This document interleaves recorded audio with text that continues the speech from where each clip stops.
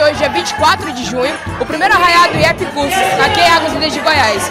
Foi um evento organizado pelos alunos, juntamente com os professores e a direção. É, como vocês podem perceber, está repleto de alegrias. Tem diversas comidas típicas, entre diversas brincadeiras. Acompanhe um pouquinho de como está sendo esse evento.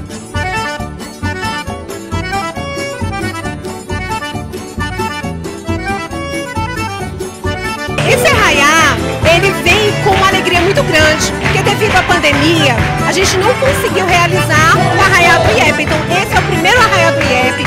É uma forma da gente estar trazendo alegria para os nossos alunos e finalizando o nosso semestre com muita alegria.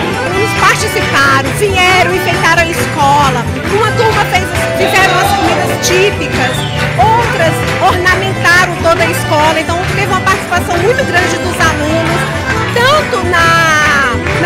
construção do evento, quanto na participação no treinamento das danças. Eu sempre falo para os nossos alunos que quanto mais curso, melhor. O mercado de trabalho hoje está muito difícil, não está fácil. A gente tem que se qualificar. E mais importante que o EP veio para qualificar as pessoas, somente aos jovens de Águas Lindas.